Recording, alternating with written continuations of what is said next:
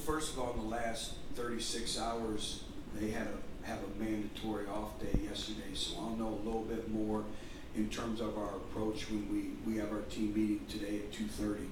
Uh, but I liked what they said in the locker room after the game. You know, I have Derek Barnett running off the field and saying, Coach, it's one game, we got Georgia next week.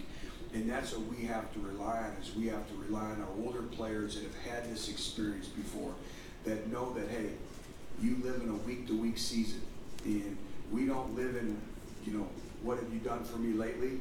We live in a society of what can you do for me next? And they have to understand that praise and blame, it's all the same. See, I gave you a new one, I got you a little hint out there, so I accomplished my goal for the day.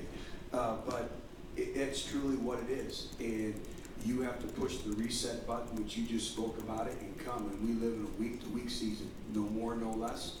And you win the football game based on your preparation and your mindset, and then you apply it on game day. Mike Griffin, Trent I'm sorry. Chesney, Austin Burnett. Corners